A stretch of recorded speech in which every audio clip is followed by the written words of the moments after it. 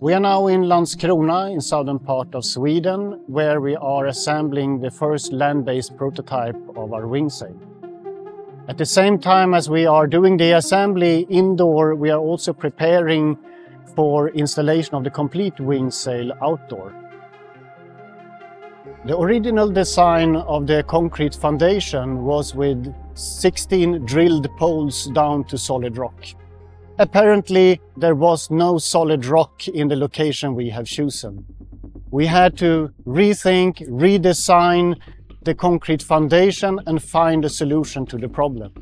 That's why we now are piling with 78 concrete piles instead. These piles will together carry the load of the complete wing sail in strong winds, but also when tilting the complete wing sail. So it's extremely important and it's done in a correct way. There are always challenges in every project. It's a matter of finding new solutions, move on and do the best of the situation.